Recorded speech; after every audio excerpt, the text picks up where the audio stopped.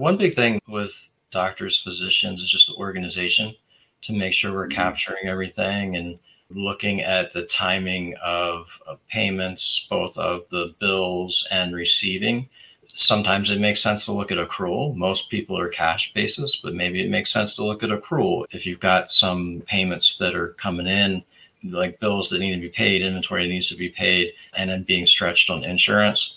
The home office is one that gets missed a lot because if you can establish, as a physician, establish a home administrative office, then driving back and forth to the office where you see patients is now that's a deductible expense, right. whereas before it used to be a commuting expense.